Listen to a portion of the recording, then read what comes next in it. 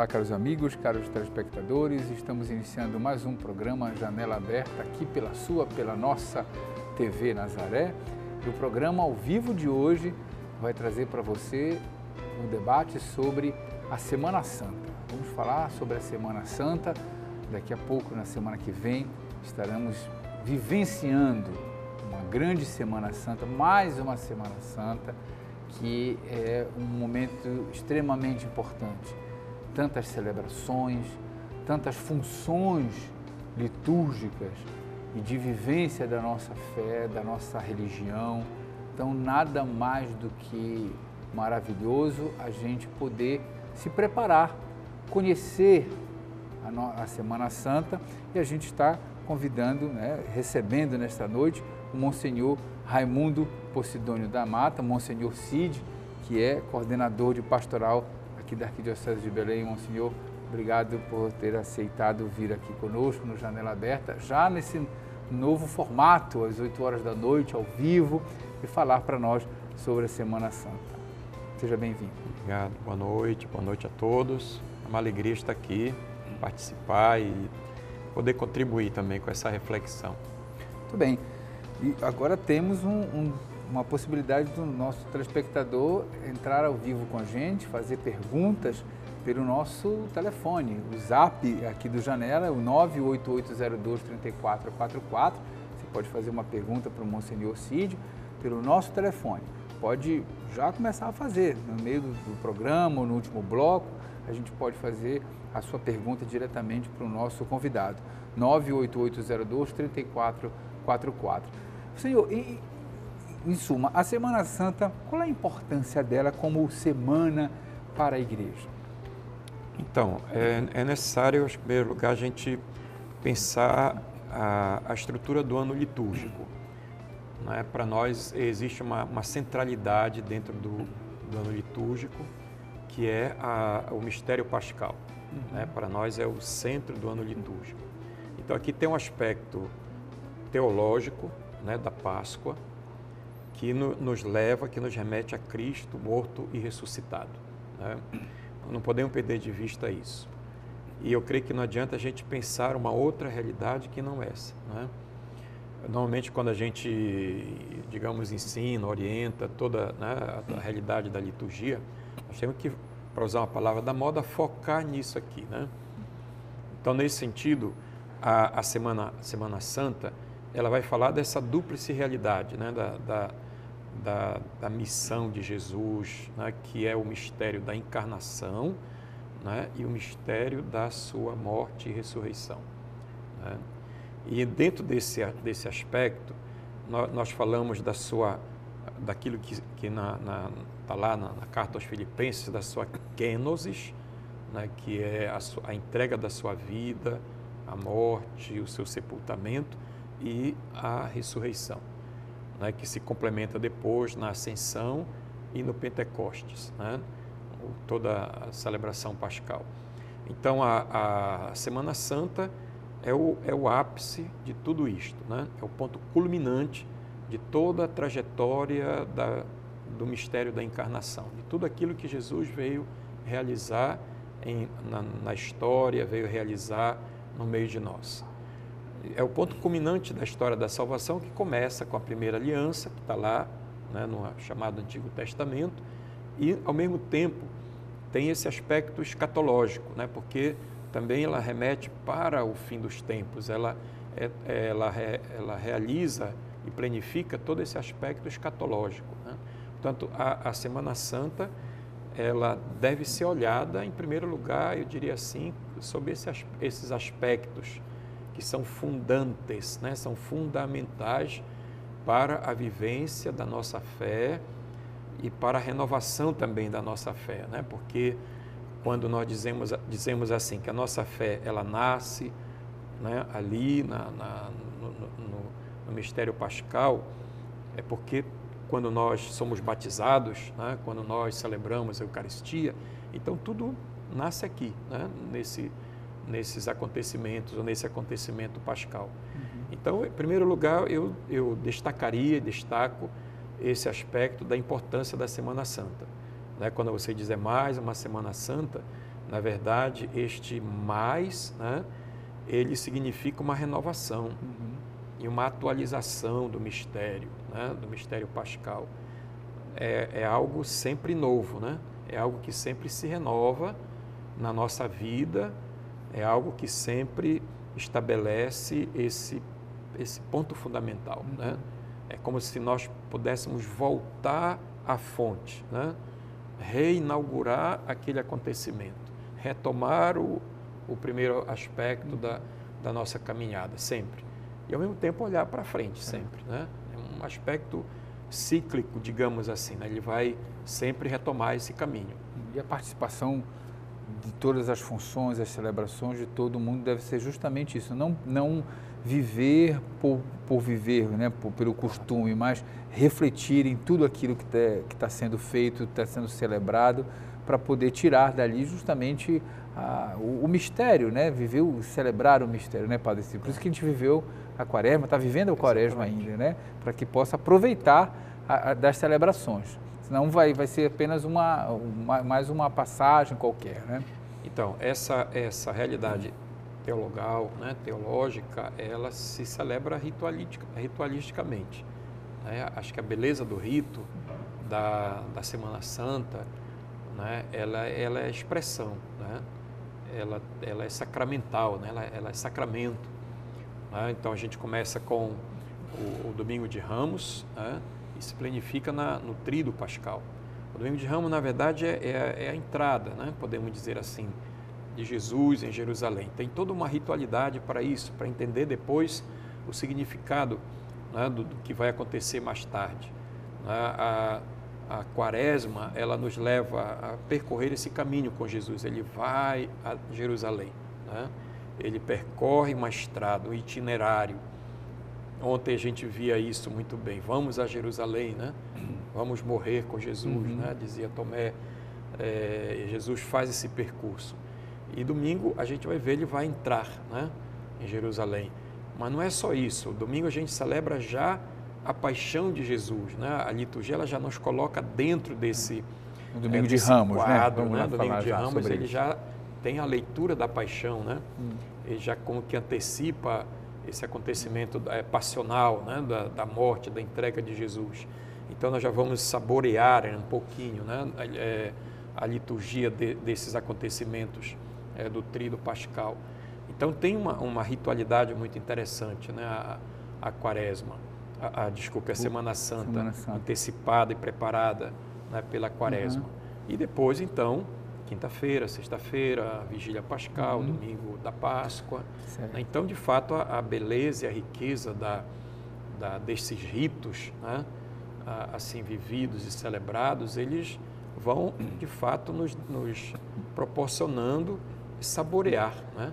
todos esses princípios, esses fundamentos da nossa fé. Okay. No domingo de Ramos, a gente faz, é, vai viver, vai fazer aquela celebração os ramos. Qual é o significado da celebração dos ramos? Você já começou a falar um pouquinho, vamos aprofundar um pouquinho mais sobre isso. A gente faz, a cidade inteira, no mundo inteiro, na verdade, mas aqui Belém é, vive muito forte essa celebração dos ramos. Todo mundo quer andar com os ramos, pegar os ramos, inclusive bentos, e levar para casa, guardar até o outro ano. Tem uma tradição muito forte.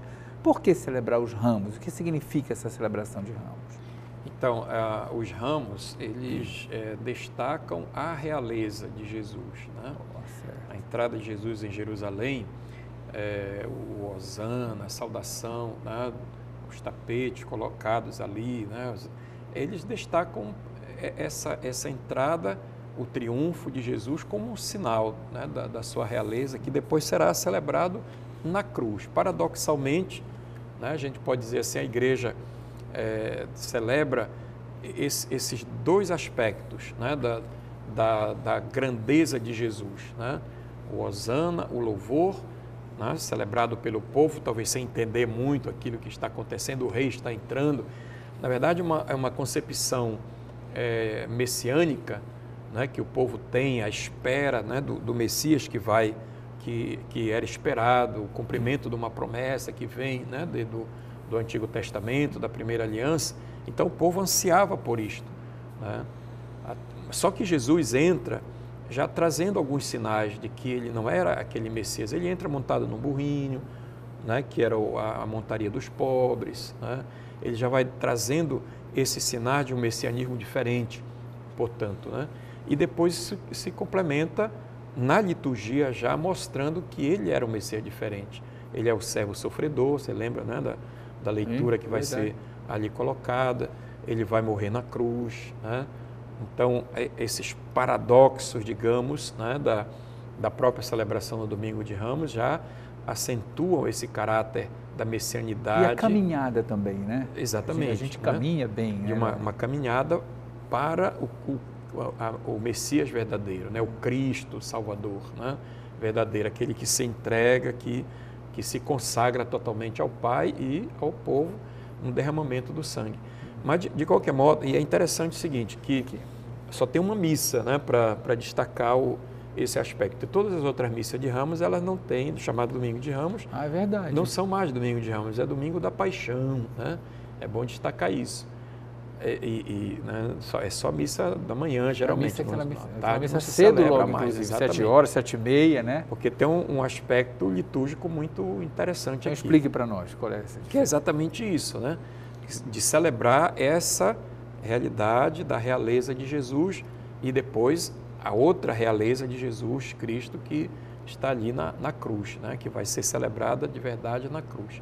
Agora, é lógico, você, é, a, a, igreja, ou ao longo do tempo da própria história da igreja, esse, esse aspecto né, da, da, da, festa celebrada em, todo do, em torno dos ramos, ela foi muito é, trabalhada culturalmente, né? As pessoas, é, é, os povos, digamos, ao longo da história aqui e acolá, eles deram muito destaque, um destaque muito cultural, né? tornaram esse aspecto muito cultural, enfim, e, e, e fazem mais festa para o, o aspecto dos ramos, né? do que para o outro aspecto da, da, da paixão que é celebrada logo depois, né? durante a, a, celebração da Santa Missa. Né? E fica naquilo, como você diz, é, é talvez até para brincar um pouquinho, né? se, se se a pessoa não tiver o ramo e né, não, não benzer os ramos, parece que né, aquilo não, não, não, vale, né, como eles uhum. dizem. E aquele ramo levado para casa, ele tem um, um, valor simbólico né, muito forte e tal. Né? A gente sabe, o pessoal guarda aquele ramo atrás da porta, queima é quando verdade, tem né, chuva forte, os raios. Me lembro da minha mãe, ela tinha um uma valor. Uma tradição, né? Uma tradição muito grande. Aquilo lá na porta de casa tinha aqueles ramos, né? que guarda do ano para o outro para queimar depois na quarta-feira de cinzas, né? Enfim, às vezes o valor simbólico ele é muito maior do que o valor propriamente litúrgico, né? o valor teológico e essa relação que o, o cristão deve ter com a, a messianidade propriamente dita hum. de Jesus. Né? Afinal de contas, a gente poderia dizer o valor do ramos ele é, é muito mais próximo né, dessa questão da messianidade do que propriamente o valor que se dá, né, que popularmente se dá a ele, digamos. Né? Uhum. Né? Muito bem. Aí, bom, temos muita coisa para falar né, sobre a Semana Santa e você pode fazer a sua pergunta aqui para o Monsenhor Cid pelo 98802, está aqui embaixo, 3444, está aqui colocando aqui para você na tela, 98802 3444. Estamos falando sobre a Semana Santa, que é um momento muito forte, muito oportuno de se preparar. Inclusive, é, é, não é uma coisa específica da Semana Santa, mas em muitas igrejas há mutirões de confissão também, né? Você, é importante que todo mundo se prepare também sacramentalmente, não é isso, Monsenhor? Exato. Na verdade, a, a, a confissão, né, é, a penitência, o sacramento da penitência é uma proposta quaresmal, né? Uhum. Então, durante toda a processo da quaresma, eh, desde o primeiro, primeiro domingo, ou desde a quarta-feira é, de cinzas, a igreja sempre propõe uma, uma, uma proposta penitencial de purificação interior. Né? Na verdade, são aquele, aqueles três passos: o jejum, a oração e a esmola. Mas também, sacramentalmente falando, a, a, a confissão. Né? Agora, é lógico, para ajudar um pouco mais nesse sentido, né, a, que os fiéis possam também né, assim, realizar esse, essa, essa confissão. Então as paróquias se, se ajudam né? e realizam num dia a, o mutirão. Né? Mutirões, né? Nesse, é comum isso. Né? É, ficou uma, uma coisa marcante aqui na Arquidiocese de Belém, né? Essa, esses mutirões agora durante esse período agora, né? Inclusive eu estou faltando hoje aí numa paróquia ah, lá na minha região, né? Certo. Mas por exemplo em Fátima será quarta-feira, né? E assim todos os dias nós estamos indo nas paróquias para nos ajudar mutuamente porque normalmente o povo deixa as coisas mais para a última hora, né? E se não for assim a gente tem que passar o dia inteiro confessando. As é pessoas que só quase que em geral é na, na sexta-feira santa que o pessoal procura para se confessar. Aí né? quer se confessar cinco minutos antes do sacerdote entrar para fazer a celebração, né? Então, aproveitando... Mas é bom isso, né? Acho é, não, é, um... é bom, mas é, é importante aproveitar a oportunidade para dizer a todos que estão, estão nos assistindo para que procure na sua paróquia é, o, o pároco, ou algum agente de pastoral e veja o horário né, do mutirão das confissões. Ou se, não, ou se perdeu na, na paróquia das regiões, é comum que nesta semana e até na semana que vem, na segunda e na terça-feira, em muitos locais estará havendo mutirão das confissões. Em geral, os sacerdotes pedem que deixem realmente para as pessoas que não estão acostumadas a vir à igreja ou que não têm realmente uma vida eclesial muito intensa, é, aqueles momentos de última hora para atender essas pessoas que não têm é, um, um, hábito de frequentar a igreja. É, as pessoas que já estão mais acostumadas procurem os mutirões para ter uma confissão, um atendimento é, mais é, melhor, né? não tanto mais rápido, mas mais é, mais acolhedor, talvez, né, que dê mais tempo de, de fazer a sua confissão, tá certo? E temos que falar da Quinta-feira Santa, Sexta-feira Santa, Sábado Santo, né, Domingo de Páscoa, mas daqui a pouquinho no próximo bloco, tá bom? Não se esqueça de fazer a sua pergunta, 98802-3444, aqui para o Zap do Janela. Não sai daí, TV Nazaré Amazônia falando para a Amazônia. Estamos voltando com o nosso programa Janela Aberta aqui pela sua, pela nossa TV Nazaré, hoje falando sobre a Semana Santa, é, sobre as funções da Semana Santa, recebendo o nosso convidado especial, o Monsenhor Raimundo Posidônio da Mata, Monsenhor Cid, que é coordenador de pastoral da Arquidiocese de Belém. Você pode fazer sua pergunta para o Monsenhor pelo nosso zap, zap do Janela, 98802-3444. Já falamos sobre o Domingo de Ramos, rapidamente, obviamente não dá para falar tudo que a gente gostaria, a importância de se preparar espiritualmente, sacramentualmente, é, procurando o sacramento da confissão, da penitência. E vamos falar da Quinta-feira Santa. É um dia muito bonito. O que, que a gente celebra na quinta-feira? Temos a, é, a, celebração também do Lava Pés, instituição da Eucaristia. Vamos lá, Monsenhor. Então, a, a Quinta-feira Santa é o início do Tríduo Pascal, né? Quando a, a quaresma vai até quando? Então, então a gente assim, faz essa pergunta, eu sei que está aqui no zap. É, a quaresma termina na quarta-feira. Né? Quarta-feira. É, em geral a gente encerra ali né, na quarta-feira, quarta-feira santa, né? uhum. antigamente chamada quarta-feira das trevas, né? Das assim trevas, é. ali. Né? E já na quinta-feira inicia então a, a, o trido pascal com a missa da, da, da ceia do Senhor. Mas é bom lembrar que em muitos lugares, assim, tradicionalmente celebra a chamada missa do Crisma nem todos os lugares celebram por razões pastorais, não se celebra. Às vezes, em muitos lugares, devido à distância das paróquias e tal, os bispos preferem celebrar um outro dia, né, para todos os padres levarem o óleo do, uh, os santos óleos para suas paróquias. Aqui em Belém, por exemplo, nós celebramos na, na quinta-feira pela manhã o óleo do eh, a missa do crisma, onde são abençoados os três santos óleos, né, para os sacramentos e os padres fazem a sua renovação sacerdotal que está associado àquilo que acontece depois na missa da, da tarde, quando se celebra a instituição da Eucaristia. Né? Então, essa, essa missa da, da tarde, chamada Missa da Ceia do Senhor, ela celebra, a gente poderia dizer assim, a, a instituição do sacramento da Eucaristia, que antecipa né, o, o, o, a entrega de Jesus Cristo né, na, na, na, cruz. A gente normalmente é, costuma é, vivenciar, podemos dizer, antecipadamente aquilo que será celebrado, realizado no, no outro dia, né? que é a, a, a, morte de Cristo, a entrega dele plena e total na, na cruz. Então Jesus quis colocar sacramentalmente isso no pão e no vinho ali consagrados na, na Páscoa que ele celebrou com os seus discípulos, né? na ceia da quinta-feira. Então é, é, uma, é uma celebração muito bonita, muito, né? é uma, uma missa, diríamos assim, diferente, né? por todo o sentido que ela tem. É a primeira Eucaristia celebrada né, e presidida pelo próprio Senhor. Ali ele expressa a grandeza do seu próprio sacerdócio. Né? E, e, é interessante que ele quis deixar isso também como sinal do seu ministério sacerdotal para outros sacerdotes, né? para que outros pudessem continuar esse ministério. Por, por isso também celebramos a instituição do ministério sacerdotal. Né? A, a, a, instituição da Eucaristia ela está associada à instituição do sacerdócio, como aqueles que depois irão presidir as Eucaristias ao longo do tempo, da história, eternamente. Né?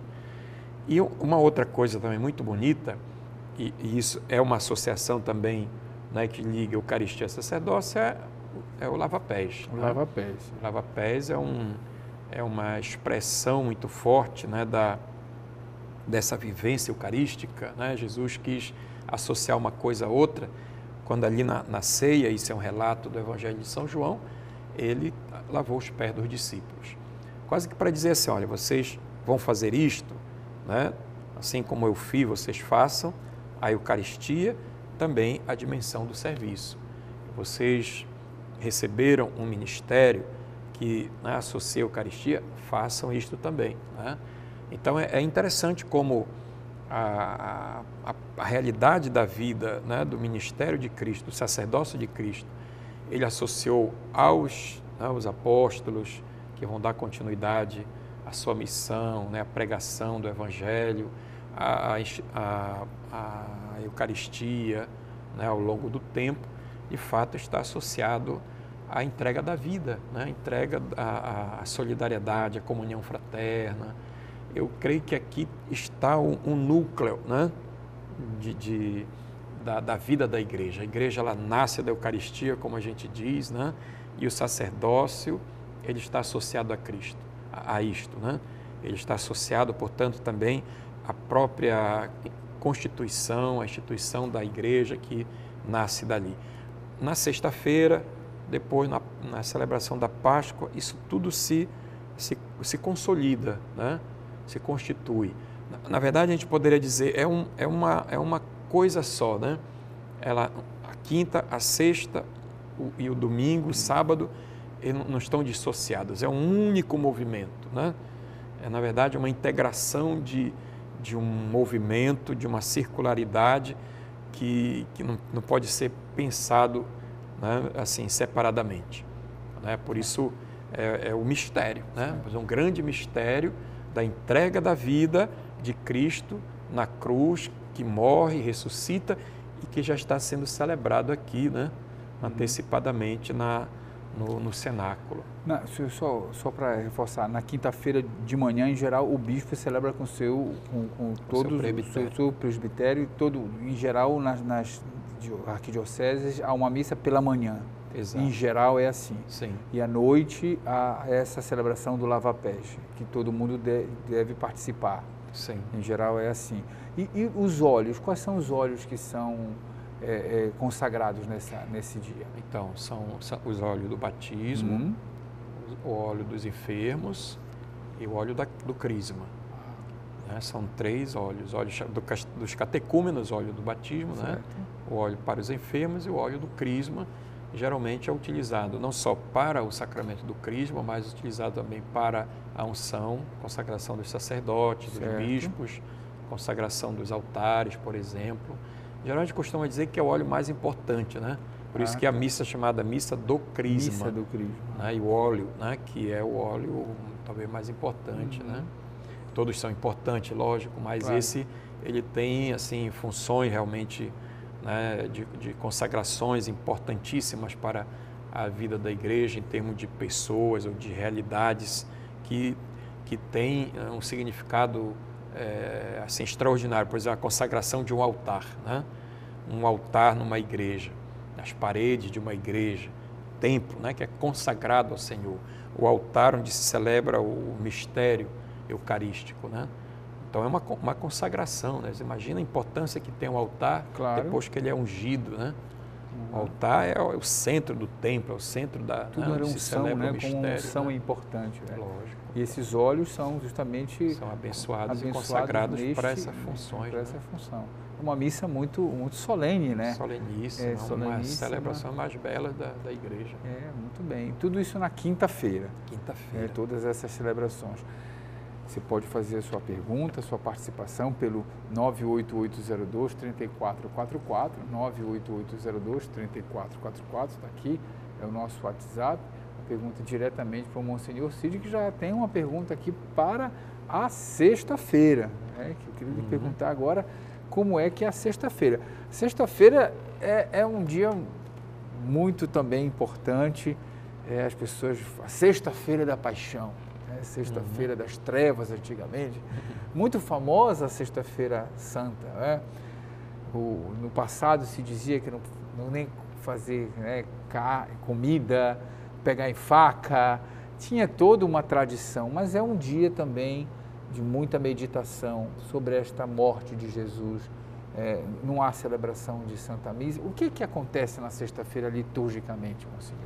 Então, é um dia muito forte, né? Eu diria. Um dia é, grandioso, né? Um, é um dia que tem uma, uma assim, um apelo né? É, extraordinário do ponto de vista daquilo que a gente falava ainda há pouco no primeiro bloco, desse mistério da encarnação né? do, do Filho de Deus, que agora se entrega. É o aspecto mais forte da kenosis, do, do, do esvaziamento, né? dessa totalidade de um Deus que se esvazia, que se entrega né? no, no alto da cruz, que se deixa tomar pela realidade da história, né? de uma história que, que, que o eliminou né? totalmente. Né? Todas as forças da, do mundo, do mundo das trevas, do pecado, das forças do mundo, né? Jesus foi, foi morto né, não, não só por uma, uma contingência, digamos, né, religiosa, mas também política e tudo mais. Lá, a cruz é um, é um símbolo do poder do Império Romano. Né? E ele está ali jogado na, na, no alto da cruz. Né? Então, a, a Sexta-feira Santa, ela celebra essa realidade de um Deus que foi capaz de se entregar, de ser morto por, por nós. É, é a expressão máxima do amor que, né, que é capaz de, se deixar morrer por isso. Então, a Sexta-feira Santa é um dia de contemplar esse mistério, né? o mistério da morte de Jesus. É um dia de silêncio, um dia de silêncio. A igreja fica em silêncio, posso silêncio dizer profundo. assim? Tanto que é um dia, ah. a gente costuma dizer, litúrgico, né? É um dia que não tem celebração da missa. Aliás, é bom lembrar que o sábado também é um dia litúrgico. Né? Durante o dia né, não se celebra a missa, também no sábado. Até pelo menos às 18 horas não se deve celebrar missa, uhum. né, só depois das 18 horas. Então são dois dias praticamente, né, em que se celebra a morte e o sepultamento. A morte na sexta, o sepultamento certo. no sábado. Uhum. São dias assim de, de, um, de um silêncio que nos ajuda a contemplar esses mistérios né, de, um, de um Deus que morre no alto da cruz e que é levado a mansão dos mortos, é. né? Que vai conhecer o fundo do poço da condição humana, né? da degradação do ser humano. Né? Então, é, a gente poderia dizer assim, um Deus que experimenta né? comer o pó da terra, né? um Deus que experimenta a, a última condição do, do, ser humano. O desamparo certo? maior. Desamparo total, né? enfim.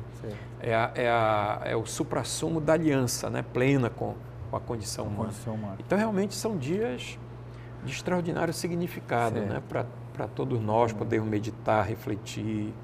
Né? E, e a gente poderia dizer assim: o que, que nós temos a ver com isso? Tudo. Né? Nós estamos ali também. Né? Estamos ali colocados diante disso.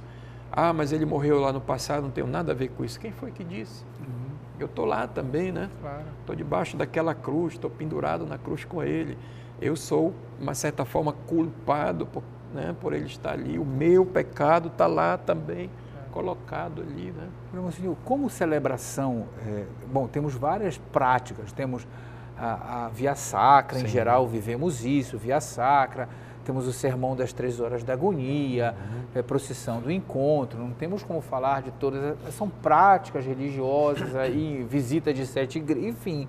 Mas como celebração litúrgica, o que é que nós temos na Sexta-feira Santa? Então, assim, a, a gente tem, na verdade, uma celebração da palavra, da praticamente, palavra, né? né? Porque são tem a, uma, uma leit, são leituras, leituras. Né? a primeira leitura, a segunda leitura, uma leitura da, da paixão, né? não se chama nem proclamação, é. na verdade é uma leitura, leitura um relato é da, da paixão, dependendo do ano, a B ou C tem uma leitura lá, né? É, e depois tem o que nós chamamos de adoração da cruz. É, adoração da né? cruz. Que é, a, a, cruz normalmente ela é velada por um pano, ela vai se desvelando ali. Na, na, verdade é uma contemplação né, desse mistério do Cristo que morre né, no, no crucifixo ali, né? E nós fazemos uma veneração, na verdade, daquela imagem. Né? Em geral, a, a, igreja acabou adotando esse termo adoração da cruz. Na verdade, nós não adoramos a, aquela imagem, nós adoramos o mistério de um Deus que está ali representado, né? porque na verdade a adoração ela é só a Deus, não é a imagem em si. Né? Mas aquilo que ela em si representa, que é, está por trás daquela imagem. Né? E depois a comunhão, né? a comunhão da, das, das sagradas reservas que ficaram da quinta-feira. Né? nós temos o costume de, de guardá-las e às vezes fazer uma vigília também, né? uma coisa bonita que Sim. em muitos lugares fica a noite toda, a madrugada toda fazendo ali né? a, adoração às sagradas reservas. E, e então vem a comunhão. Né? Agora, é lógico, em torno desse núcleo celebrativo vem muita coisa, né? Você falava de sacras, ah, vem o encontro, né? a procissão do, do encontro, encontro. Nossa Senhora das Dores, a imagem do, do Cristo carregando a cruz, tem a procissão do Seu Morto Sim. depois da, da, dessa celebração. celebração. Enfim, o pessoal faz muita, né? tem em muitos lugares costumes, tradições que se que, assim, dependendo das da, sete da, palavras. é, aqui em Belém tem em o Belém, Sermão sim. das Sete Palavras, que é uma tradição já mais né, de 150 anos, né, que foi trazida para cá é, no tempo das Irmãs Doroteias, né, que tinha esse costume lá na, na Itália e foi a, a, trazida para cá e o bispo lá, Dom Macedo Costa, aceitou, né, e até hoje tem ininterruptamente, né, lá no Colégio Santo Antônio. São poucas as igrejas no Brasil que têm essa tradição. E, e é um momento interessante né, de refletir, à luz também da, da teologia, da, né, a, as palavras de Jesus ditas nos evangelhos, que é uma coisa muito bonita. Né? É, tem, são bonitas mesmo. Tem uma maneira da gente pensar essas palavras assim. É, eu até já fiz uma vez isso é, também, né? tive a graça de fazer isto. Enfim, acho que é uma maneira também da gente meditar né, sobre, sobre esse acontecimento. Né? Uhum enfim, muitos costumes, né? às vezes até meio supersticiosos, né? se estabeleceram, que se criaram. Infelizmente, às vezes as pessoas ficam mais né, nesses aspectos do que Sim. na centralidade realmente do, do acontecimento. O fato importante é esse. Agora, tem o, a, o, o costume também, lógico, né, da tradição da igreja, do, do jejum, da abstinência de carne, né, exatamente para que nós tenhamos uma sintonia com, com esse acontecimento fundamental. Né? Uhum. Nós devemos sentir no corpo, pelo jejum e pela abstinência da carne, de outras coisas que nós costumamos comer, não é só a carne, a carne em si é só uma, uma questão né, importante, mas deveríamos também nos abster de comer aquilo que a gente gosta, né?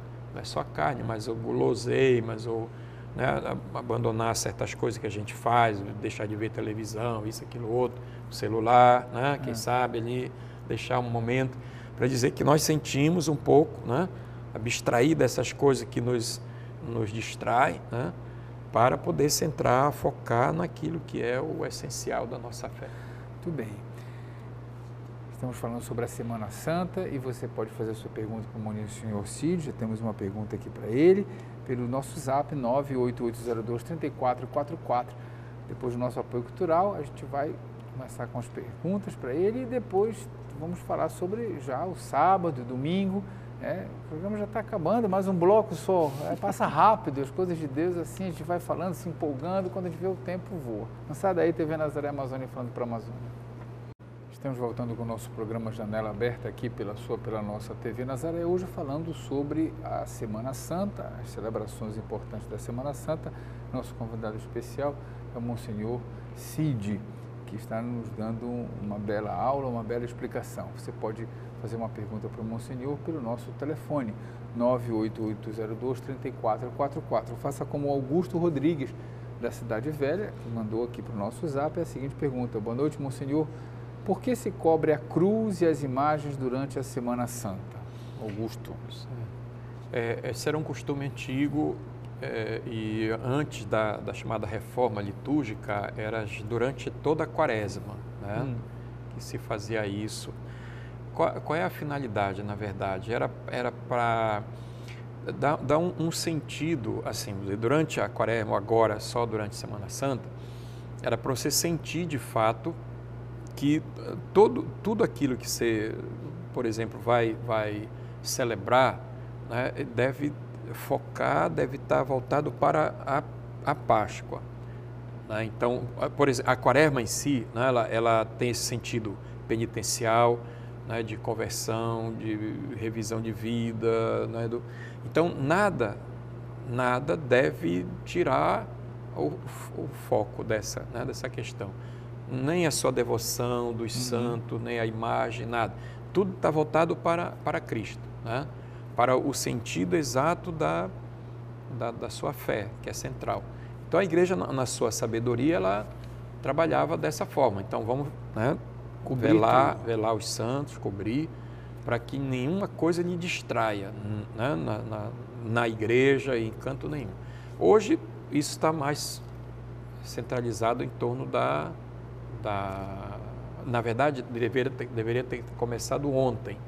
Né? Em geral, a, a, orientação é que isso deveria ter sido feito já a partir de ontem, quinto domingo da quaresma. Ah, é? É. Isso no quinto é o, domingo, é? Isso é o, normalmente a... o diretório litúrgico É, o diretório litúrgico ordena isso. Muitas igrejas fazem, e nenhuma nem fazem mais, né? Hum. Mas aqui a colar, pelo menos durante a, a, a Semana Santa. Mas a, a, a finalidade é essa. Deixem né? voltem-se para o Cristo. Essa é a finalidade. Deixe os santos, Nossa Senhora e tal, né? e para voltar-se para Cristo. Essa é a finalidade de deixar, é, de, de velar os santos, como a uhum. gente fala. Né? Pois é. E também as cores. Muita gente está perguntando sobre as cores. O que, uhum. antes de a gente entrar no sábado, explique um pouco essas cores. No domingo de Ramos, que cor se usa ali? Porque é, é o, o roxo em geral na quaresma, é, é, o lilás, né? Então, Quais são as, como é que são as cores durante a Semana Santa, as cores litúrgicas? Então, até aqui a quaresma é penitência, então é o roxo. No domingo nós usamos o vermelho, hum. já me referi a isso falando da, da, da paixão, que é a, a, morte de Cristo, primeiro mártir, né? É, é, apesar de ser domingo de ramos, domingo não, um domingo também de, de alegria, né, pelo Cristo, mas é domingo da paixão. Na quinta-feira porque se celebra a Eucaristia, né? já tem um sentido, um sabor pascal, aí é o branco, né? o dourado às vezes celebra também. Na sexta-feira, de novo, paixão, então vermelho, né? o primeiro mártir. E aí já a Páscoa já é o branco, né? ou o dourado, amarelo, branco, né? no geral. Uhum. É, exatamente porque o Cristo ressuscitou. Então o branco já é sinal de alegria. Né? Então durante todo o período pascal é sempre o branco. Então, são as chamadas cores litúrgicas né, é, preferenciais desse período. Aí no sábado, o que é que nós temos? Durante a, a manhã, estamos manhã em silêncio tarde, ainda, silêncio o sepultamento total. de Jesus, sábado à tarde, em geral está tá se ensaiando para a celebração Isso. da vigília. A vigília pascal, vamos lá falar rapidamente. a vigília pascal é a noite das noites, como a gente diz. Vigília né? das vigílias. Vigília das vigílias, é uma celebração belíssima, né? Você imagina que ah, no passado, logo quando de fato, ah, a, essa, a, sobretudo quando se destacava o, a celebração da, da, do sacramento da iniciação cristã, de fato a, a vigília começava à meia-noite e se prolongava ao, ao longo da madrugada, por causa das leituras, os exorcismos né, Ah, que era? se tinha. E acabava lá pelas quatro, cinco horas da manhã. né? Era uma, uma celebração longuíssima. né? Então, era, era por isso que normalmente tem, tinha a chamada missa da aurora. Né? Acabava aquela missa da, da noite, já- já começava outra missa, a missa da aurora. Normalmente a, a, a Páscoa ela tinha essa missa da noite, a missa da aurora, a missa da manhã. Né? Eram três missas celebradas com leituras diferentes. Né? Hoje tudo mudou, né? Por conta também de todas essas histórias, da, a gente já está celebrando às vezes a missa da vigília já às seis horas da tarde. A gente É. já celebra já mais questões cedo. pastorais, né, questões hoje? pastorais, o problema, né? Sim, a violência. E também tiramos algumas leituras para encurtar um pouco, né? Essa questão, às vezes, do, do, do tempo também, né? As pessoas não querem ficar muito tempo na igreja, enfim. Mas é uma celebração, não obstante tudo isso, muito bonita, né? E a recomendação é que, de fato, nós aproveitemos essa oportunidade para o batismo né, de algumas pessoas, pelo menos o batismo. E, em algumas igrejas estão retomando esse costume do, dos sacramentos da iniciação cristã de adultos, né? não é batismo de criança, mas é batismo de adultos. E, e que se realize, de fato, a, a, o batismo, a comunhão, a Eucaristia e a crisma. Né? Pode se dar o sacramento o bispo autoriza que se dê o sacramento da crisma para os adultos. Né? O padre pode fazer isso. Então tem as leituras, né? são nove leituras né? que normalmente se fazem junto com o Evangelho, a renovação ou sacramentos, com a renovação das promessas do batismo para quem já é batizado. Depois, ali, antes disso, né? tem aquela celebração muito bonita da bênção do fogo, o acendimento do Sírio Pascal, o Exultate, que é um canto muito bonito, Belíssimo, né? belíssimo aquele canto quando ele é cantado ali pelo padre, né? Enfim, depois as leituras e depois né, essa parte da- do batismo, a parte da comunhão? Enfim, é uma missa realmente é, né, que, é- que é Aí nós temos um indescritível símbolo sobre que é o Sírio Pascal. O que, que se Sírio. acende o Sírio Pascal? Então, o Sírio Pascal, ele, ele foi introduzido na, na celebração exatamente para lembrar esse acontecimento da ressurreição. né? Ele tem lá as incisões, né? o A, o alfa, o ômega, tem a cruz para lembrar o sofrimento de Cristo e tem a, a realidade do tempo presente, né? normalmente a data do ano em curso. Então ali lembra de fato essa realidade de um Cristo que morre, um Cristo que é o alfa e o ômega, o princípio e o fim, né? e tem a realidade do tempo presente para nos dizer que ainda hoje ou no tempo atual a morte de Cristo tem né, a, sua, a sua atualidade.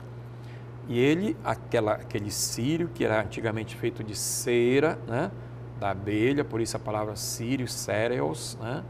então ele representa o Cristo ressuscitado. Então é, é aquele, aquele, aquela vela é, preside normalmente a celebração da Páscoa ali, ele fica sempre perto do ambão, depois ele fica perto da pia batismal durante o resto do ano, é aceso durante todos os as celebrações do batismo, né? As velas do batismo elas são acesas ali para entregar às crianças ou aqueles que são batizados, porque o Cristo para nós é, é a luz, né? É a luz que nós recebemos, a criança que é batizada também é como Cristo, luz do mundo. Então aquela vela ela é uma lembrança desse acontecimento fundamental. né? E a Eucaristia, afinal de contas, a Eucaristia vai ser e será sempre para nós memorial deste acontecimento, né? memorial da Páscoa de Cristo, certo? Então, toda a Eucaristia celebrada, seja diariamente, seja cada domingo, é a Páscoa que se renova, né? a Páscoa de Cristo que é atualizada, a Páscoa de Cristo que vem para nos salvar, para nos redimir, para nos alimentar constantemente, para que nós possamos continuar a prolongar né, a sua a, a salvação no mundo, na história, eternamente. E aí a gente volta na, na liturgia, volta a cantar o Glória, o Exato. Aleluia. O que, é que, o que é que volta na liturgia que a gente não fazia na quaresma? Então, é o aleluia, Ah, em primeiro o lugar, né? aleluia. o aleluia é o grande símbolo dessa, Com os sinos, essas os sinos, o glória. Né? O aleluia é uma coisa que que é interessante na igreja, né? porque na verdade isso já era cantado também né? no, no, no, Antigo Testamento e a igreja incorporou isso para, para, para as nossas liturgias. Né? É, e, e, a gente não pode desvalorizar, pelo contrário, né? acho que a igreja ela foi, na, na sua sabedoria, ela incorporou né, nas aclamações do Evangelho, mas cantado na Páscoa ele tem um sabor especial, né? Uhum. Quando você proclama, o padre proclama ali aquele primeiro aleluia, né? De fato é uma é uma como a gente poderia dizer uma palavra feia que é a incorporação, né?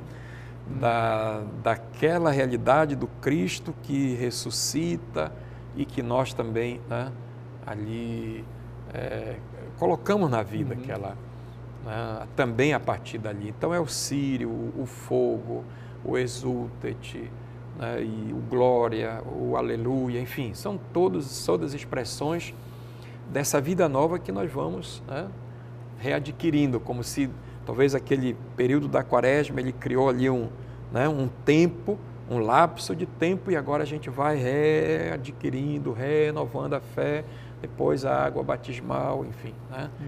Você vai vendo que tem uma, a gente poderia dizer uma arte, né? Acho que a igreja ela foi muito sábia nesse sentido de nos legar esse grande patrimônio, né, da, da nossa fé através da liturgia.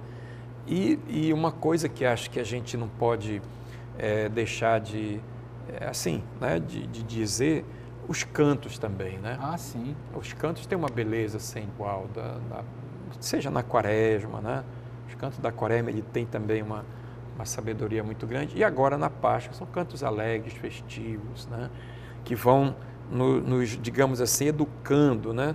Você, você pega lá, no início lá não tem canto, mas você vai cantando ali os salmos, né? o exultate, os salmos, o glória, o aleluia, né? o canto do ofertório, o santo, depois os cantos. Você vai vendo que, de fato, os cantos, é, é, quando a gente estuda, né, no inário litúrgico, etc., você vai vendo que eles são educa, edu, eles nos educam. Educam, né? é verdade. A gente costuma dizer que os cantos eles são servos da liturgia, uhum. né? Não são a coisa mais importante, mas eles são importantes. E quanto é importante a gente edu, educar-nos também para cantar e cantar bem de acordo com a liturgia. Uhum. Né? Eles são dão uma beleza, né? Eles embelezam a liturgia, eles criam de fato um ambiente para nos envolver, né? Liturgicamente. Então, enfim, é, é, na verdade, como diz o italiano, tudo somado, né? De fato, a, a Semana Santa é algo sobrenatural na nossa é vida, acho que nos renova tremendamente. Ah, o senhor falava da, das missas que havia, né? A missa da, depois da, da, vigília era uma missa da, da aurora, né? Mas Sim. no domingo a, a, missa da ressurreição com outros textos, não é isso? São, tem outros é, textos. Outros, outros, é, outras leituras. Mas aí já é, é a missa da ressurreição. Em geral, a missa da, da meia-noite, a missa da, que as mulheres vão ao sepulcro, uhum. né, encontram a porta aberta, tem um anjo. Depois você já tem o encontro de Jesus com Madalena. Depois você já tem outro, aí, Pedro que vai com João. Já na missa da tarde já é discípulo de Emaús. Né? Uhum. Então, é todo, todo um caminho. É sempre o primeiro dia, né? primeiro dia da semana, sempre um o mesmo tempo, é um time só, né, digamos assim, da, como se fosse um único momento aquele lá, né, daquele mesmo dia, em três, assim, é revelado ou, ou no, nos textos que nós encontramos nos evangelhos de, um, de modo diferente, mas é como se fosse um único acontecimento. Uhum. Né? Então, a, a, a, é como se a gente tivesse que ir em três missas diferentes, digamos, né? uhum, né? É Isso para nós padres é perceptível, né? Porque a gente tem que celebrar ali a duas, três missas, mas também para o povo não seja perceptível. Mas para nós é muito claro isso, né? Muito ah, assim palatável, né?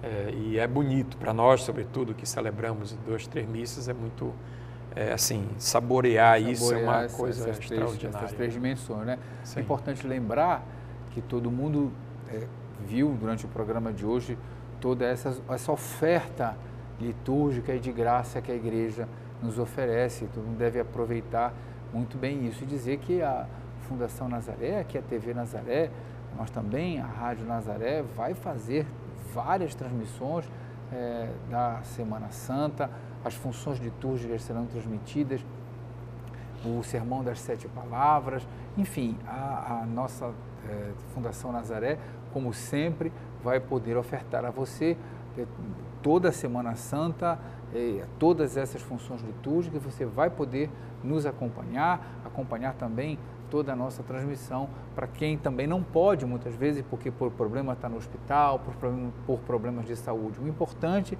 é preparar-se bem e aproveitar toda essa oferta de graça né, que a liturgia nos oferece, que Deus nos oferece para o engrandecimento pessoal. Monsenhor, como eu posso agradecer ao Senhor? Muito obrigado. Pedir depois uma benção, tá? Para encerrar o nosso programa. 30 segundos para suas considerações finais.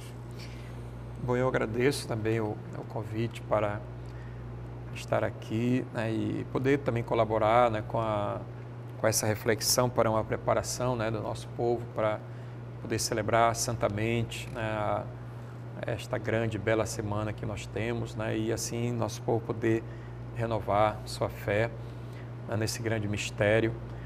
E, enfim, é, dizer que a Semana Santa é, se torne para cada um né, esse apoio que a gente precisa também para esses enfrentamentos diante de todas as adversidades da vida. Né? De fato, sem, sem esse apoio espiritual, dessa mística que é própria de todos nós cristãos, a gente eh, pode sucumbir né, a tantos apelos que vêm daqui, da colar, enfim, a todos esses dramas que nós às vezes passamos né, na vida. E eu creio que a Semana Santa é de fato a, a a expressão da presença do amor de Deus para conosco, que nos sustenta, que nos apoia, que, que nos impulsiona também para para viver, conviver e sobreviver né, diante das adversidades da existência. Tá certo. Muito obrigado a você que nos acompanhou no programa de hoje. Até a próxima semana em mais um Janela Aberta. Vamos receber a bênção do Monsenhor. Monsenhor, por favor. Senhor esteja convosco. Ele está no meio de nós. Desça sobre nós, sobre nossas famílias, a bênção do Deus rico em misericórdia, em nome do Pai, do Filho e do Espírito Santo. Amém.